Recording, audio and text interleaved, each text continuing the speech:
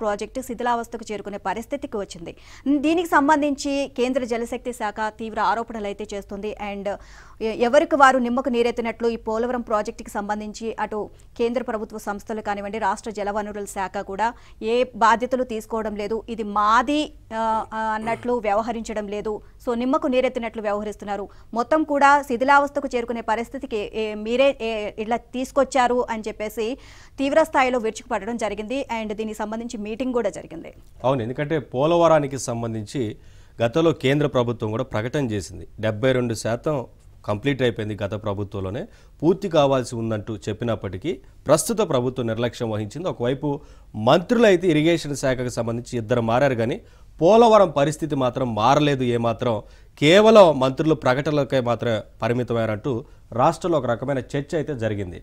ప్రపంచంలోనే అత్యంత అరుదైన పోలవరం ప్రాజెక్టును కేంద్ర ప్రభుత్వ సంస్థలు రాష్ట్ర జలవనరుల శాఖ కాంట్రాక్టు సంస్థలు తమవని భావించడం లేదని కేంద్ర జలశక్తి శాఖ ఆక్షేపించింది. బాధ్యతతో వ్యవహరించడం లేదని అసహనం వ్యక్తం చేసింది. ప్రాజెక్టు పర- ప్రస్తుత పరిస్థితులకు సంబంధించి కూడా మాట్లాడుతూ వచ్చారు. ఇక ప్రాజెక్టు ప్రస్తుత పరిస్థితులపై మంగళవారం ఢిల్లీలో జలశక్తి శాఖ కార్యదర్శి పంకజ్ కుమార్ నిర్వహించిన సమావేశాన్ని ప్రధాన సలహాదారు వెదిరే శ్రీరామ్ బుధవారం కొనసాగించారు. Guide bund కుంగిపోయినప్పుడు dam design review panel chairman AB Pandya నేతృత్వంలో జలశక్తి శాఖ వేసిన నిజ నిర్ధారణ కమిటీ ఇచ్చిన నివేదిక ఆధారంగా శ్రీరామ్ బృందం అంశాల వారీగా లోతైన సమీక్ష చేపట్టింది కేంద్ర జల సంఘం వాప్కోస్ CMRS DDRP NHPC Polavaram project authority తదితర సంస్థలు రెండు గంటల పాటు చర్చించాయి. ఈ సమీక్ష గురు శుక్రవారంలోనూ కొనసాగుతుంది.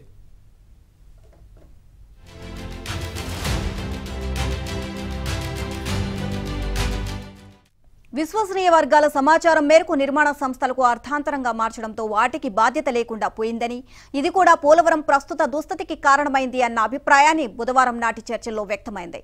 ఒక సంస్థ నిర్మాణాలకు మరో సంస్థ నిర్మాణ పనులకు మధ్య అంతరం ఉంటుంది అని గుర్తించింది. ఇసుక తదితర మెటీరియల్ నాణ్యతా ప్రమాణాలను గుర్తించే విషయంలో మరింత జాగ్రత్తలు తీసుకోవాల్సి ఉంది అని పేర్కొంది. ఇసుకను ఎక్కడో ఐదారు కిలోమీటర్ల దూరం నుంచి తీసుకొస్తున్నారని నాణ్యతను తవ్వకాలు సాగిస్తున్న ప్రాంతంలో పరిశీలిస్తున్నారని కానీ క్షేత్రస్థాయిలో సమగ్ర పరిశీలన జరగడం లేదని అభిప్రాయపడింది.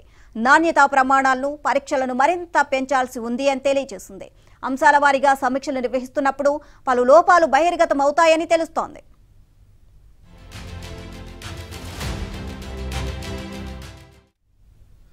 నిర్మాణ సంస్థలను తొలగించే సమయంలో అప్పటి వరకు ఆ సంస్థలు పూర్తి చేసిన పనులు భవిష్యత్తులో కొత్త సంస్థ చేపట్టే పనులకు మధ్య సమన్వయం సయోధ్య ఉండేలా చర్యలు తీసుకోవాల్సిన బాధ్యత రాష్ట్ర జలవనరుల శాఖదేనని సమావేశం స్పష్టం చేసింది.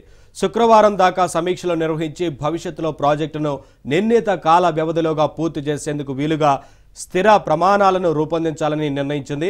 వారం రోజుల్లో ఎస్ఓపిని సిద్ధం చేసి కేంద్ర రాష్ట్ర ప్రభుత్వ సంస్థలు ఖచ్చితంగా అమలు చేయాల్సిందేనని లిఖితపూర్వకంగా స్పష్టం చేయాలని నిశ్చయించింది. ఈలోగా రాష్ట్ర జలవనరుల శాఖతో సమావేశం కావాలని భావిస్తోంది.